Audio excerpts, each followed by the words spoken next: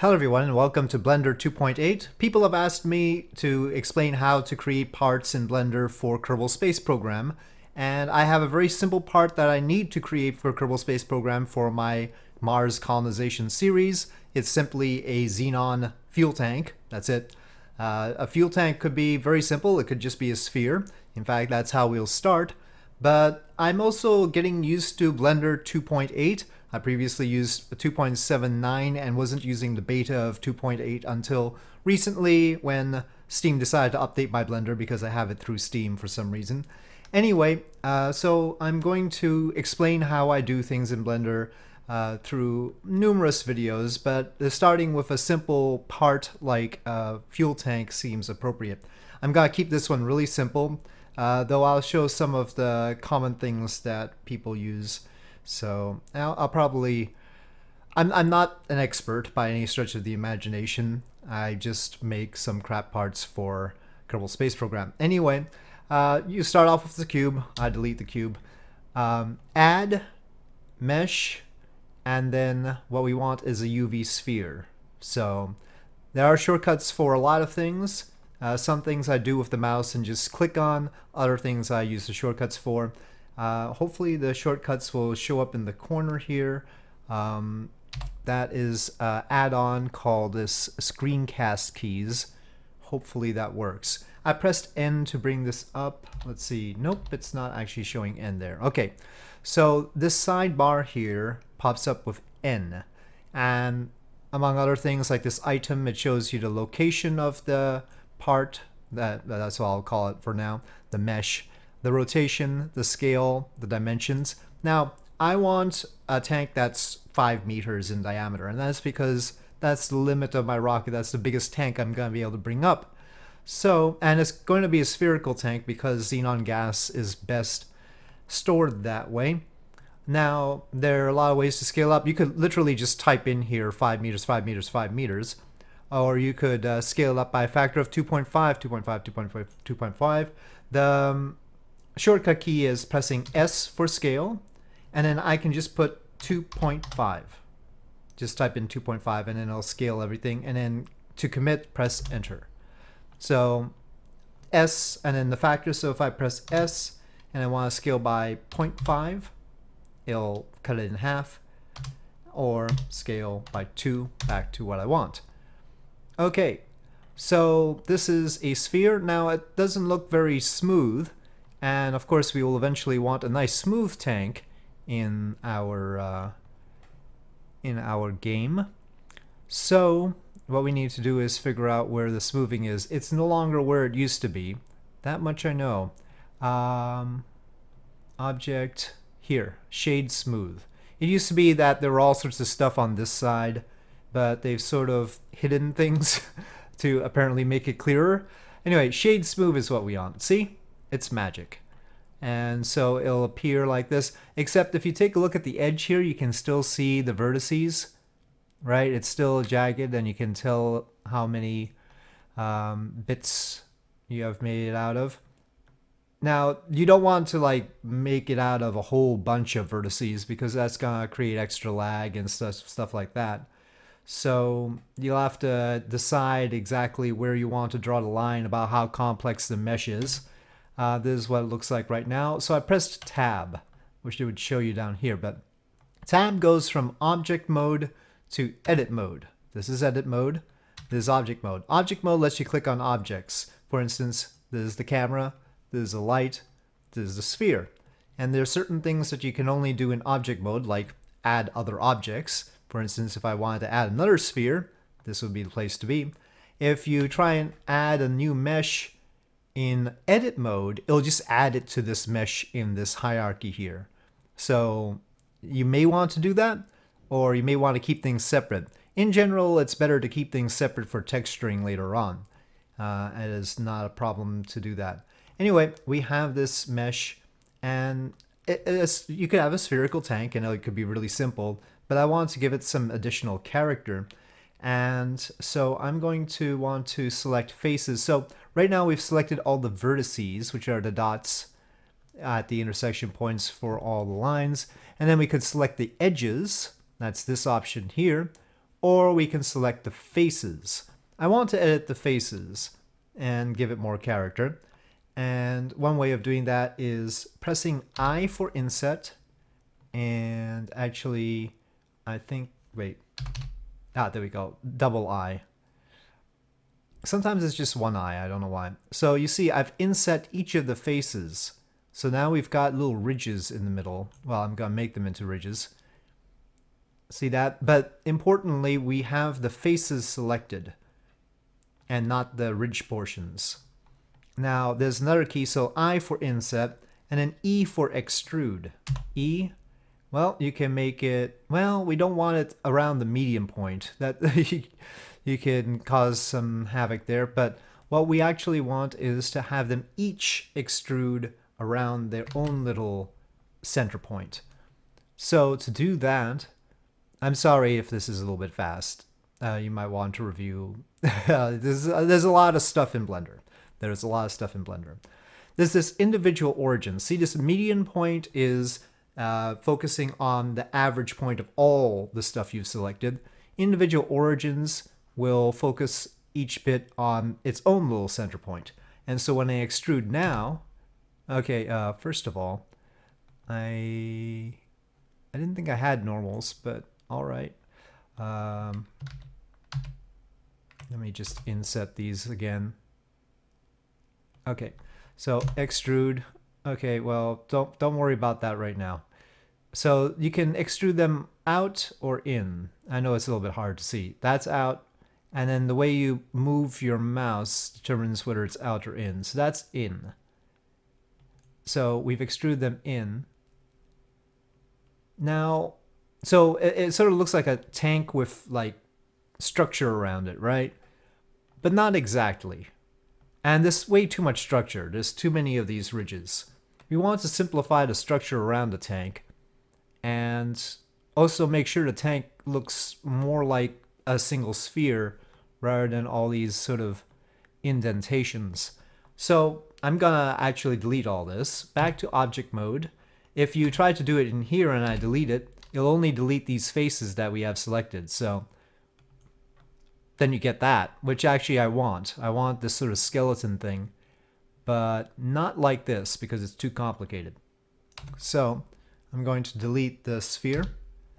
I'm going to add a simpler sphere now. So add mesh UV sphere and you can click down here where it says add UV sphere. You can decide how many segments and rings it has. Segments being the up down bits, the rings being the horizontal bits. And again, you can change the radius right now. So I want a radius of, not radius of 5 meters, I want a diameter of 5 meters, 2.5 meters radius. Okay. And then I also want hmm, half half the segments and rings for the structure around the the sphere. That should be more than good enough.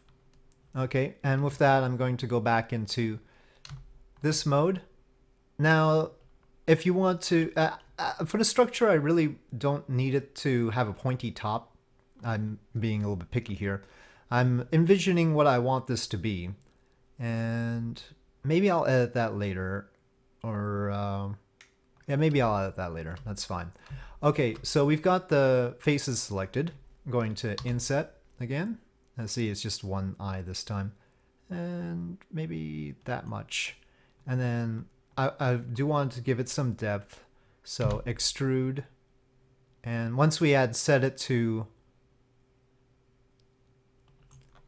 be around the individual points, it's still set like that. And then I want to delete. Now, important to note, uh, there's no inside face. You can see, so if, if you put the camera inside here, it'll look transparent from in here. There's only an out, outside pointing face, and uh, the way you can tell that is with the normals. The normals show you which way the faces are pointing, and they gotta be transparent from the other direction. If you wanted the inside, you would need to fill in each of these. So if we go to vertices, like I would have to select these vertices and fill. And fill is F. So now I've created a, a face that's facing this way. But actually I don't need those faces because those are going to be hidden by the sphere. We are now going to add another sphere. Okay, and right now it's the same size, but I want the sphere to be more spherical. So the original numbers 32 and 16 and it needs to fit inside that structure. So now I want 3 point, uh, sorry, 2.4 meters. And actually it could be a little bit bigger than that. 2.45 meters. Let's see, does that meet it? Yeah, that, that looks okay. And then once again, we want object smoothed. Okay. Now, we could have even less structure around it, to be honest, but this is okay. This is an interesting sort of start. And you can see we don't have to worry about those back-facing bits. Now, this dimple, this is what I wanted to deal with before. And uh, actually, I'll rename things. Uh, this, right-click, and, well, actually, I guess, uh, there we go. Double-click on it to rename. And so this will be the tank. And I'll just call this the structure. Okay, and then we can click on this to hide it. But on the structure, I don't like that dimple. So I want to flatten this a little bit, but I want to sort of flatten this, excuse me, I sort of want to flatten this part here, but there's no like uh, edge right here. So I'm going to create an edge. Um, knife tool. I mean, use advisedly but I'm going to use the knife tool. Click here. The knife tool creates a new edge. So if I click on one point and I click on another point, new edge, and it just keeps doing that. So it should snap to the vertices uh, if you click on them properly.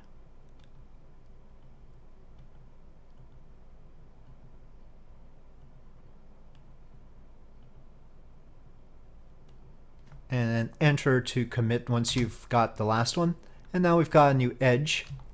And I'm going to take that edge. I'm going to hold shift and I just want to select select uh, that.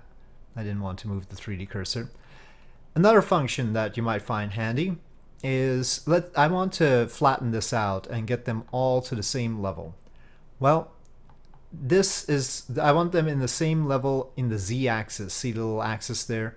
that z is up and down and then y and x are on the flat plane. Well, I want to have them all at the same point on the z-axis, so I press S for scale, z, so it's confining it to the z-axis, and then press 0, and then that's it. it'll, it'll put everything on the average point between. So here we have a nice flat bit. We have to do the same for the bottom. Okay, now, uh, it's, it's not a perfect circle because, you know, we've got little flat bits. Actually, I think I missed the vertice there. Mm, okay, well, that this seems like a good time to introduce yet another feature. Okay, um, I'll, I'll actually want to flatten it first and then introduce that. So I've selected all that. I'm going to select that one too, which is one that I should have had. And do the same thing, S0, uh, SZ then 0. Okay, but we have some extra vertices sitting around there that I don't want. See, there's, whoop, there's some here. And so C for circle select. Got these three here. I don't want, uh, wait. One of those, I want to make sure it's not the one at the bottom there. No, it's not. So these are all different ones. I want to merge them. So mesh, let me see where this is these days. Vertex, may, uh, merge vertices. Yeah, okay, and that's the same thing as before. Uh, merge, let's say at center. So Alt M to merge at center. There we go. And that's fine. And then, oops, I selected all. Circle select those two and Alt M again and at center. Okay, so the extra vertices are gone now. Looks nicer. Okay, but actually at the top and bottom, what I want are adapters for my docking port. So I've got a special docking port that's in the shape of a diamond. And so I want to add another mesh. So out of the edit mode, and I want to add a new mesh. This time what we want is a cube. And the cube, every new object appears at the 3D cursor. So if you want to change the location of the 3D cursor, cursor, uh, shift right click will get you there. This is also sometimes good for getting the exact location of a particular point on the mesh. For instance, I clicked here and it sort of automatically snaps to the mesh. And eventually I might want to put like say an attachment node or something like that and I can get the exact location. Now it really should be 0, 0 and then that's the height of it. So when we configure these parts in Kerbal Space Program, uh, we use this, we can use the 3D cursor to figure out the location of where we need to put the attachment nodes. So anyway, uh, we have a cube and I need to shape it in a manner that is similar to my docking port. First thing to do is I want to rotate. So there's the rotate gizmo and R is the shortcut key. G is the shortcut key for move. But I'm more used to doing those by hand. So we want to go to item. You see minus 38.9. I actually want minus 45. And so we get a diamond shape. And it's two meters in... Uh, uh the, the perspective is throwing me off here. So how do you get from one perspective to another? Right now, it's not orthographic. 5 changes it to orthographic. And then you can get the front view by, uh, oh, 5 on the keypad. 5 on the keypad is orthographic and switches back from perspective to orthographic 5 on the keypad. Then 1 is front and 3 is right, 7 is top, and if you want to switch from top to bottom or left to right or from front to back, you use 9. So if you're already on bottom, 9 will get you to top. If you're on front, then pressing 9 will get you to the back. So that's how we do orthographic views. Now, this is a lot bigger than I thought it was, and that's because, oh, because the scale is, uh, it, I, I need this this dimension to be 2 meters. And right now it's this dimension that's 2 meters. So I need to divide by 1.4, roughly speaking. Another way is um, if we control A commit the rotation, then it'll show it. So remember, I'll undo that. We add this negative 45 degrees here, and it's still thinking that this object should be oriented the way it used to be when it spawned it. But we can commit the rotation and say, no, actually use the coordinate system that we've got here right now so that this is the x-axis and that's the y-axis. It's going by its local coordinates that it had when it spawned. To do that, control A, apply the rotation, and now it's showing a dimension of 2 meters in the x direction and 2 meters in the y direction which is what I wanted. I'll actually scale, I just press S and I'm gonna manually tweak that up to a little bit bigger. And then all I want is to scale the um, Y direction a little bit tighter. So scale, press S, then Y, and then I want to squish it. And then I don't need this whole bit, so S and Z Okay, and then press G to well, uh, G Z. I only want to move it. Oh, oh no, I pressed S accidentally. Oh, and if you're in the middle of something and you accidentally did the wrong thing, you can right click to un uh, just immediately not commit that change. So if I pressed S accidentally and then Z and then I started scaling and I go, oops, well, what do I do now? Well, right click will undo that. So I want to press G and Z to move it in the Z direction. And, well, it's pretty big. Maybe I should just not have that as part of the mesh. I thought I could make it elegantly part of this.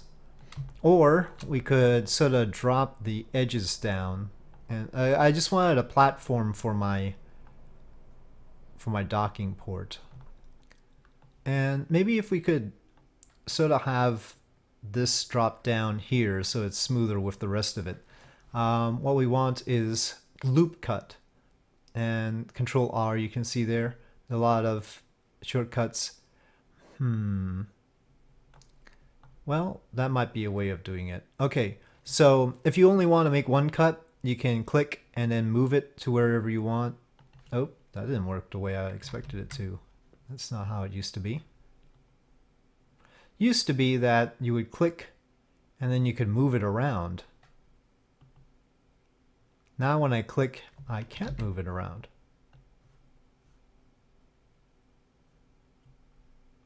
Hmm. Okay. Well, and also it used to be that you could make more than one cut. Oh, well, that, that works at least. Okay, well, I do want to make more than one cut, and you'll see why.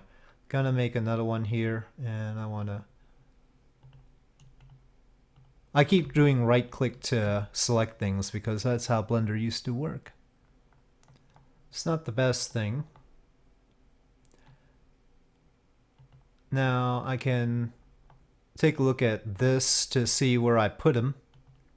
I want to just round it off 1.61. Oops, on this side too. And I'm gonna move these two to the same place. Shift to select more than one thing. Now there's the local coordinates. There's also the global coordinates. Might want to work with those. Oh, so you can just uh, copy this field if you want to propagate to another point and then paste Control V. Copy Control C, paste Control V, and then you got that. Well, that's sort of a platform thing. Could be spiffier. Um, another thing you could do to make it a little bit spiffier is various modifiers. One thing we do need to do is have another one of these at the bottom. Still not thrilled by it, but I'm gonna want another one at the bottom. So for now, what we can do is just mirror it. Mirror. And what we want to do is mirror across the sphere so we can select the tank and what we want to do is mirror on the z-axis, not the x-axis. So now we magically have another one at the bottom and we don't have to create a new one. So again, there's this modifier button, add modifier, they've got all these options, and then mirror it. Now we could have some other fancy bits, and as long as you don't commit this mirroring, don't click apply, you can continue to edit this and it'll still make the same effect on this side. trying to figure out how to make this fancier.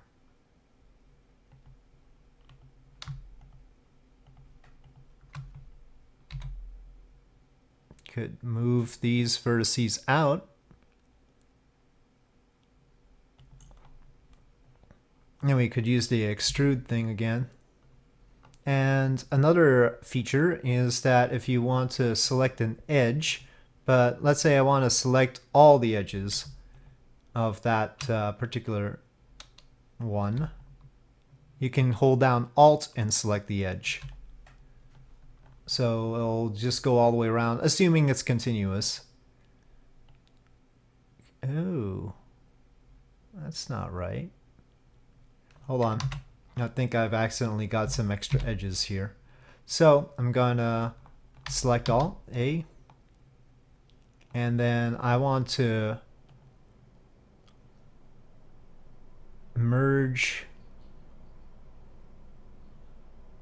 doubles, uh, duplicates.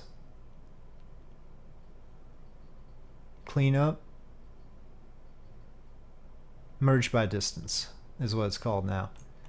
Um, oh, 0.01.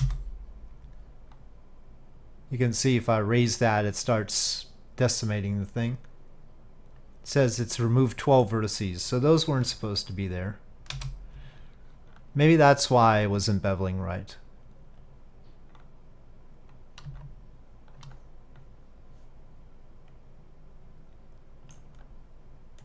Well, uh, this is a nicer bevel for sure.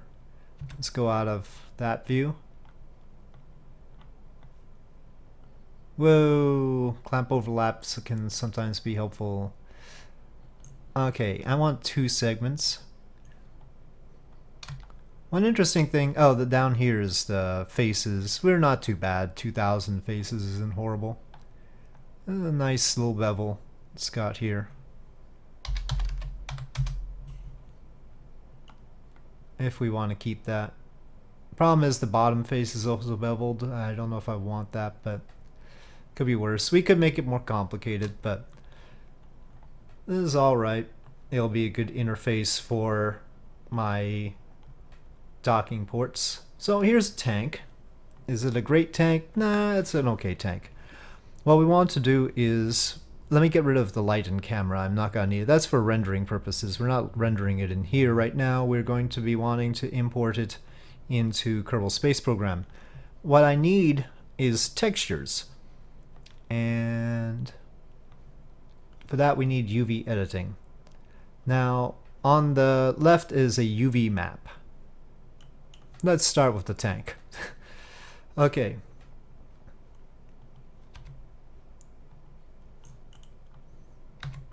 You have to be in edit mode to unwrap it. So this tank has, uh, that's a nice unwrapping actually.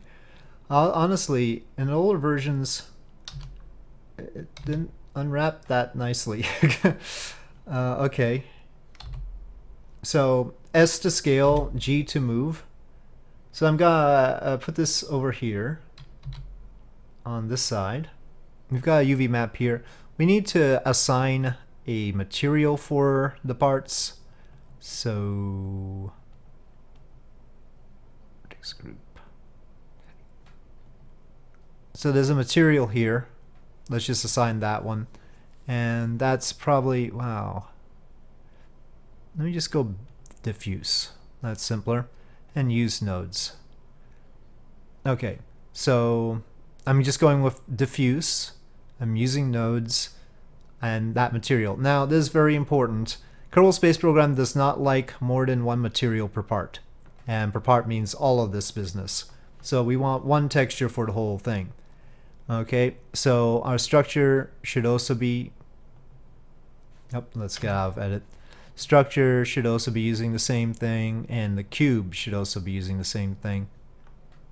And again, you'll only be able to see the mapping when you're in edit mode. So can't see it in object mode. And only when you've selected the bits. So I'm going to select all that. I'm going to move this one over to this side. So whatever texture we use, it'll be over here. And then I'm gonna select the cube. And if you wanted, to, if you didn't like the way it was unwrapping, you could do a smart UV project and see, well, that doesn't look any better. Um, cube projection, wow. Cylinder projection, mm. sphere projection, project from view. That that could have some effect if um, if you got a flat surface like this, for instance, I could just go like this, or go ortho orthographic top, and then new projection project from view, and now it's got this. That can be easier to work with in certain circumstances. Apply scale. Now, maybe it has uniform scale. Just wanted to see the bevel. Bevel's gotten a little bit, yeah, that, okay, let's apply to bevel. And then apply to scale. Okay, now it doesn't have that weird effect. Sometimes the order in which you do things makes a big difference. Now I'm going to add the modifier mirror across the tank. And it's down there again. And now, edit mode, select it all, unwrap, uh, I'm not impressed. Uh, you You didn't do that? Oh, the Smart UV Project is much better now. I think I might take this. I'll just take this Smart UV one. So I'm gonna scale these. Now, if you wanted to, I don't know if they've improved this or not, but if you wanted to export this, now where did they, UV, um, export UV layout, and then you have to save the image, but you used to have to save it for each of these. I'm gonna shortcut that whole thing. You you notice how I put it in little uh, quadrants of this image. That's gonna come in handy for what I want to do. So I'm gonna go into Photoshop and I'm gonna prepare a very simple image. And that image will have one very basic texture in one corner, one basic texture in another corner, and one basic texture in another corner. Uh, so that each of these is gonna get their own texture. And you know, it, it's more complicated if you want text on it or some specific uh, orientation to the texture, but I'm just going to use plain colors. Okay, and I'll, I'll bring that in. Okay, I've got my intended texture image from Photoshop. Okay, so use nodes and diffuse color image texture. So once we've got color to image texture using the nodes and we're using diffuse BSDF, open and I've got a blender folder and I've got Kerbal parts, Xenon tank PNG. Okay, so this is the image. And you can see I've made very simply, just little quadrants. This is a blank quadrant down here. Uh, this is sort of a brushed metal kind of thing. This is uh, uh, normally it'd be gold foil, but I decided to go with red foil for once. And then uh, sort of a tiled texture for the top and bottom bits. So what we want to see is what this looks like in a textured view. And uh, the way that works now is different from the way it used to work. So I have to figure that out. Well, let's go back to this one. Oh, uh, it's probably one of these. Viewport shading. Um,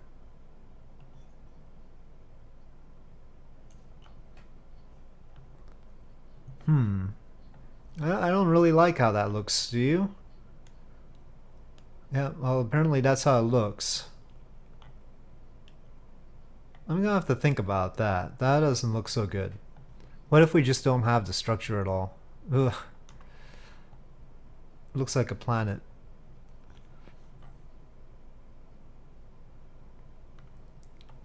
I mean, planets are nice and all, but that's not really what I want. Okay, maybe I should just go with the gold foil instead. I feel like I feel like I've I've overdone it. Here it is with gold foil. Let, let me just roll with it so that we can get on with seeing it in the game and see how that looks. So yeah, basically we've got it textured. Now it's a matter of getting it into the game. For that, I think I'll make it a separate video. So this is the easiest way of doing texturing this this business. Um, not not really the recommended way necessarily, but it'll work. All right, I'll I'll leave it here for now, and I'll we'll ponder this and continue with bringing it into Kerbal Space Program in a subsequent video. Hopefully you learned something about Blender if you didn't know about that stuff. Probably a lot of people know much more than I presented here and can tell me all the better ways of doing this. I, I'm probably aware of some of those. Alright, so with that, thank you for watching. I hope you enjoyed this video. If you did enjoy this video, please do press like. If you have any comments or suggestions, please leave them in the comment section below, and I'll see you next time.